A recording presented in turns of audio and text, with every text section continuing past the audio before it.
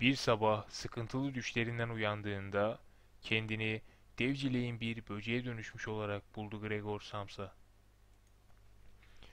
Dönüşüm, hiyerarşi ve otorite düşüncesiyle temellenen, bu amaçla söz edilen düşünceyi önce aile kurumu içerisinde odaklaştıran toplum içerisindeki bireyin tragedyasıdır. Gregor Samsa, dönüştüğü güne değin çeşitli kölelikler içerisinde yaşamış bir toplum tekidir. İş yerinde köledir, aile çevresinde köledir ve zincirler içerisinde uslu oturduğu sürece de benimsenip sevilir. Başkaldırısı bilinçaltında başlar. Bu bilinçaltı kendine uygun biçimi yaratır. Gregor Samsa'nın böceğe dönüşmesi gerçekte artık başkalaşmasıdır. Böceğe dönüştüğü andan başlayarak toplumun ve ailesinin ona ilişkin onu tutsak kılan beklentileri artık sonuçsuz kalmaya yargılıdır. Böceğin iğrençliği, çizgisi, sürüyle uyuşmayan bağımsız bireyin iticiliğiyle özdeştir. Anlatıda toplumu simgeleyen aile, önceleri ümidini yitirmez.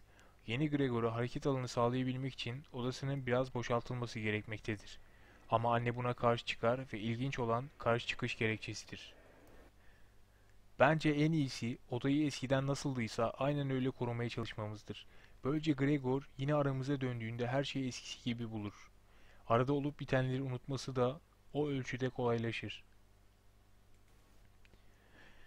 Burada sözde anne sevgisiyle Gregor'un unutması istenen, onun gerçek anlamda bağımsız olabildiği zaman parçasıdır. Gregor, sürüye dönebilmek için böceklikten çıkmalıdır ve sürüyle yeniden uyum sağlayabilmesi için böcek olduğu dönemi unutmalıdır. O zaman yine annesine ve babasına uyabilecektir, içinde yaşadığı topluma eski gibi hizmet edebilecektir. Gregor'un yeniden insan olmasından artık ümit kesildiğinde kız kardeşinin söyledikleri bu durumu daha da vurgular. Buradan gitmeli. Tek çare bu baba. Ama onun Gregor olduğu düşüncesini kafandan atman gerek. Bizim asıl felaketimiz bunca zaman bu düşünceye inanmış olmamız. Fakat o nasıl Gregor olabilir ki? Gregor olsaydı eğer, insanların böyle bir hayvanla birlikte yaşamalarının olanaksızlığını çoktan anlar ve kendiliğinden çıkıp giderdi. Kafka'nın gerçekte hemen tüm eserlerinde var olan gülmece öğesi burada da eksik değildir. Çünkü burada söz edilen hayvan asıl ya da olması gereken insandır.